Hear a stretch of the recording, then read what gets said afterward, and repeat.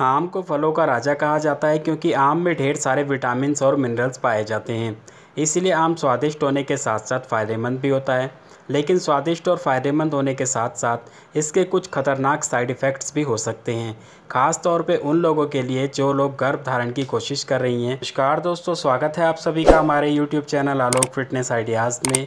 दोस्तों, आज के वीडियो में हम बात करेंगे आम के बारे में। अगर कोई महिला या पुरुष संतान प्राप्ति के लिए कोशिश कर रहे हैं और वो आम का सेवन करते हैं तो ये उनके लिए किस तरीके से फ़ायदेमंद हो सकता है और किस तरीके से नुकसानदेह साबित हो सकता है? इस वीडियो में आप लोगों को तीन ऐसी खास बातें बताऊँगा जो आपको ज़रूर ध्यान रखनी है। आगे बढ़ने से पहले आप लोगों से रिक्वेस्ट है, वीडियो को लाइक कर दें, क्योंकि बाद में आप लाइक करना भूल जाते हैं। लाइक करने के साथ साथ इसे फेसबुक पर व्हाट्सअप पर ज़्यादा से ज़्यादा शेयर करें। ताकि और लोगों तक वीडियो पहुँचे, उनको भी जानकारी मिले, फ़ायदा मिले। तो चलिए शुरू करते हैं। सबसे पहले बात करेंगे इसके फ़ायदों के बारे में। नंबर एक, दोस्तों, आम में भरपूर मात्रा में विटामिन सी होता है, जो कि आपके इम्यून सिस्टम को स्ट्रॉन्ग करता है। महिलाओं में एग क्वालिटी को इम्प्रूव करता है और पुरुषों में स्पर्म क्वालिटी को इम्प्रूव करता है। नंबर दो, आम में भरपूर मात्रा में डाइट्री फाइबर पाया जाता है, जो कि आपके डाइजेशन सिस्टम को इम्प्रूव करता है। आपके इंसुलिन को कंट्रोल करता है टाइप टू डायबिटीज़ के रिस्क को कम करता है। दोस्तों, जिन महिलाओं को पीसीओडी पीसीओएस की समस्या है, आपने देखा भी होगा डॉक्टर उनको मेटफॉर्मिन 500 की टैबलेट देते हैं ताकि उनका इंसुलिन कंट्रोल में रहे।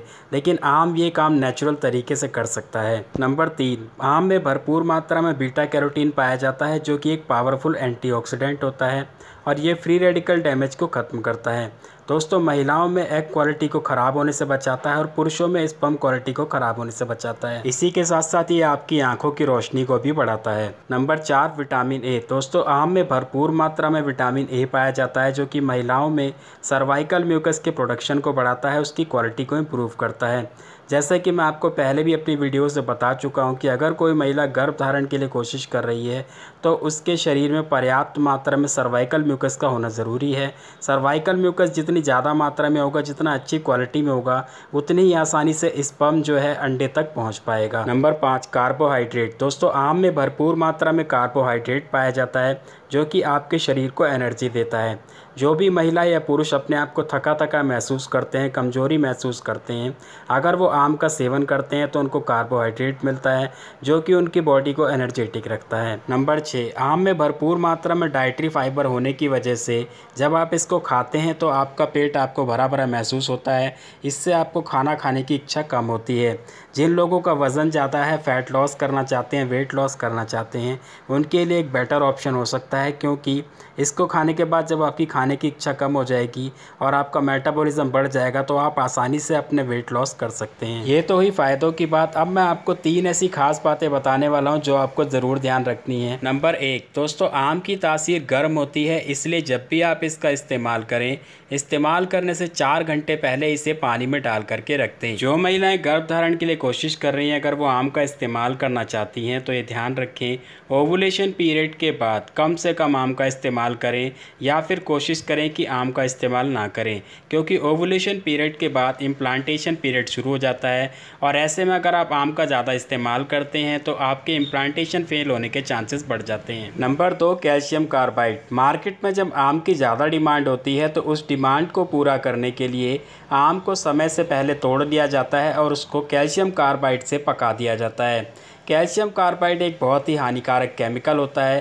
जो कि महिलाओं में पीओएफ यानी कि प्रीमेच्योर ओवेरियन फेलियर का खतरा बढ़ा देता है। दोस्तों प्रीमेच्योर ओवेरियन फेलियर में महिलाओं के अंडे समय से पहले ख़त्म हो जाते हैं पीरियड्स आना बंद हो जाता है जिसको एक तरीके से प्री मीनोपॉज भी कहा जाता है। वही पुरुषों में इसकी वजह से स्पम लॉस हो सकता है। इस चीज़ से बचाव के लिए आपको ध्यान रखना है कि जब भी आप पानी में आम को भिगाएँगे उसमें आप सोडियम बाइकार्बोनेट जिसको बेकिंग सोडा भी कहा जाता है वो ज़रूर डाल दें।